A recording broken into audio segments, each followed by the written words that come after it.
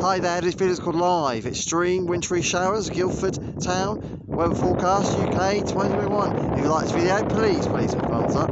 Like the mountain digital and analog. It's 12 minutes past 10 a.m. in the morning, and literally, it is the 5th of April 2021, guys. So you can see some very dark, heavy, wintry showers coming in towards Guildford Town right now, over there in the distance. So, going to be quite uh, lively, heavy, wintry showers. It'll be quite nasty.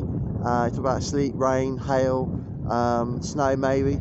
Uh, it won't stick on the ground. The hail might do, the snow I don't think so, but it'll be quite nasty for the next hour or so across the county. Sorry, don't get the town at the moment where we are.